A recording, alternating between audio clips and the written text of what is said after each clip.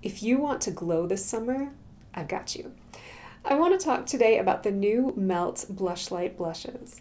I purchased three of the eight shades that they came out with. They're all cream blushes. And some of them have a natural finish, others have a pearl finish. So I actually bought two of the pearl finishes and one of the natural finishes. So I want to try all three of them on for you today, show you how they apply, show you the colors, and we'll just play with makeup because that's what I love to do. I'm going to start with the shade Lynx. Now, honestly, I purchased this thinking maybe I could use it as a bronzer. It is way too reflective to use as a bronzer, so I will only be using it as a blush. But if you want that J-Lo glow, this is an awesome shade, especially if you have fairer skin like I do. You can use your fingers, a beauty blender, or a blush brush to apply these. I'm actually gonna start with my beauty blender, and I'm just going to take some of the product. And the reason I'm using the beauty blender for this is because I do want it to be more of a glow around the whole face. Again, I'm not using it as a bronzer, but I just want it to look like I've been sun-kissed.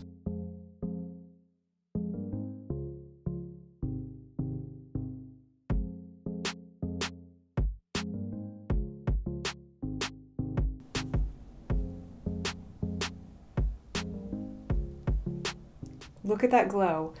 I love this shade and I think it gives a really beautiful flush to the skin. And I think this is a really lovely color, especially if you are looking for a sun-kissed glow in part of your blush. So the other pearl finish that I picked up was Golden Hour, which is a bit peachier. I like this one as well. It just looks like a gorgeous flush. So I'm going to apply that on this cheek and I'm going to use my blush brush for this. I think it takes longer to build it up with the brush.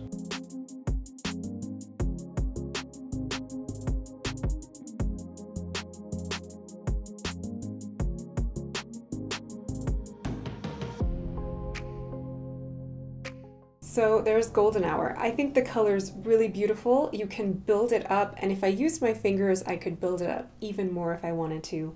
I will say that between the two, Golden Hour and Lynx, I think Lynx is a bit more sheer, so it takes a lot more to build it up if you do want a more opaque color. Golden Hour will build up just a little bit quicker. So I'm actually going to go take this all off and I'm going to use my last blush, which is a natural finish, and I'll wear that for the rest of the day. So I took the blushes off. I now have brand new makeup on and I also finished my eye makeup as well. And I want to end the video trying on Honey Thief, which is my favorite of the colors that I purchased. This is a gorgeous peachy pink and I'm going to apply this one with my fingers. And this one does not take a lot to build up. It builds up really quickly.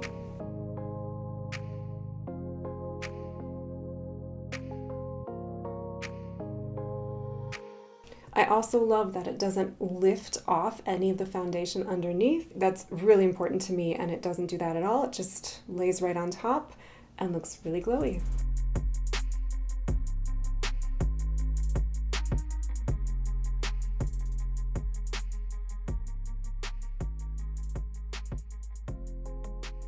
It is just the perfect summer glow. I love it so much. Now you can also use these on your lips and even if you want on your eyes. So I'm going to apply that same color on my lips.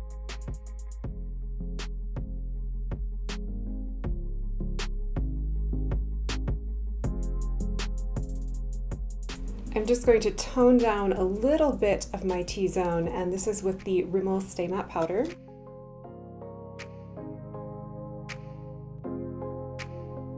And here's the finished look. I left the powder off my cheeks just because I want that glow to shine through, but you can certainly add powder if you want to tone down the shine.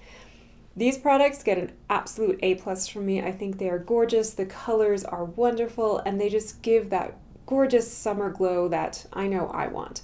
So if you try this, let me know in the comments. I'd love to know what you think of these. And if you like the video, please go ahead and give it a thumbs up and go ahead and subscribe to my channel. I have lots more videos coming, reviews, tutorials, you name it. So make sure you subscribe so you don't miss any upcoming videos. I hope you're having a wonderful day wherever you are, and I'll see you next time.